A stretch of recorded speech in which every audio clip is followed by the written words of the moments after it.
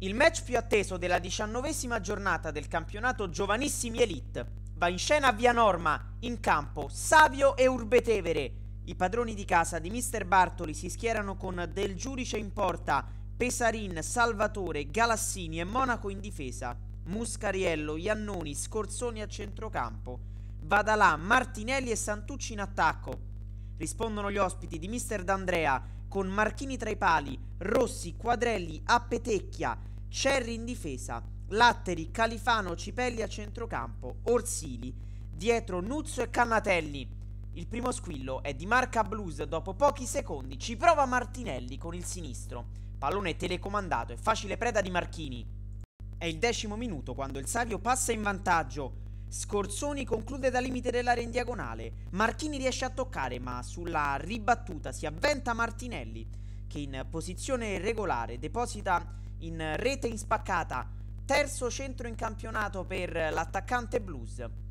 E al minuto 10 il Savio conduce già 1-0. La squadra di Bartoli insiste, qui ci prova Vadalà, che trova solamente l'esterno della rete. L'Urbetevere si fa vedere in avanti con la punizione di Califano smorzata dalla barriera, che finisce docile tra le braccia di Del Giudice. Ancora Urbetevere in avanti con Califano dentro per Orsili, cross in mezzo, la difesa del Savio sventa la minaccia e poi l'azione sfuma. Troppo poco per l'Urbetevere che soffre le iniziative offensive del Savio, azione da manuale al minuto 30, Muscariello innesca Vadalà sulla sinistra, il pallone giunge quasi a memoria per il rimorchio di Martinelli, che sciupa tutto. Da due passi l'attaccante blues si rende ancora protagonista un minuto dopo ed è ancora una volta costretto a mangiarsi le mani. Con un colpo di testa fuori misura non riesce ad inquadrare la porta e spreca un'occasione ghiottissima L'Urbetevere si fa minacciosa al minuto 32 del giudice sbaglia il rinvio, Canatelli si avventa sulla corta respinta, ma pressato calcia in modo sbilenco, poi sulla linea di porta Salvatore arriva prima di Nuzzo. E riesce a liberare l'area di rigore. In avvio di ripresa la punizione di Califano. Trova la risposta superlativa dell'estremo difensore blues che si allunga e smanaccia. L'episodio che sposta completamente l'inerzia della contesa si materializza al dodicesimo Quadrelli a terra Martinelli in area di rigore. L'arbitro non esita ad indicare il dischetto. Poi dagli 11 metri si presenta Salvatore, che calcia all'angolino.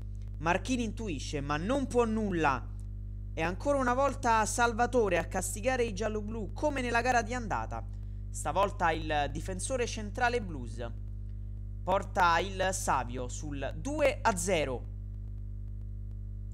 Al rientro a centrocampo delle due squadre, il direttore di gara si avvicina minaccioso nei confronti di Quadrelli ed estrae il cartellino rosso, costringendo quindi il difensore centrale dell'Urbe Tevere ad abbandonare il terreno di gioco e a lasciare la sua squadra in inferiorità numerica. I Blues ne approfittano e al diciassettesimo calano il tris. Vadalà viene lanciato in profondità, spara addosso a Marchini, poi sulla ribattuta è bravo a mettere al centro, dove c'è Spataro, che gira in rete con il destro e insacca il pallone del 3-0 per il Savio. L'Urbetevere ha l'occasione di accorciare le distanze al minuto 19. Orsini crossa sul secondo palo dalla sinistra ed è miracoloso del giudice a respingere con i piedi il tapin da due passi di Cannatelli. Il poker bruise arriva al 25esimo, va da là, anticipa a Petecchia e con un tocco morbido, quasi una palombella, beffa Marchini e fa scendere definitivamente il sipario sul match. Il Savio cala il poker con Vadalà alla quarta rete consecutiva in campionato. Fuochi e fiamme nel finale anche se la sostanza non cambia, al 32esimo Cipelli trova un corridoio filtrante per Canatelli, che da posizione de- defilata trova prima il palo interno, poi la rete. Sembra essere in fuorigioco. Chiede Lumi al direttore di gara che poi convalida la rete. L'Urbetevere quindi accorcia le distanze e va sul 4-1. Ma il Savio colpisce ancora un minuto più tardi sul traversone di Marrocco si avventa Spataro che di prima intenzione trova l'angolino alle spalle di Marchini e può così festeggiare la sua personale doppietta. È questa l'ultima emozione di una gara dominata dagli uomini di Mr. Bartoli. Il Savio consolida così la terza piazza del girone con un 5 a 1 secco per l'Urbe Tevere. È un colpo da KO